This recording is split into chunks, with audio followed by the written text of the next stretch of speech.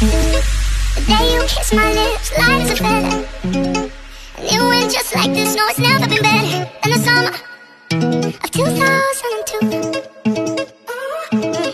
We were only 11, but acting like grown ups, like we are in the present. Drinking from plastic cups, and singing love is forever and ever. Well, I guess that was true. I will always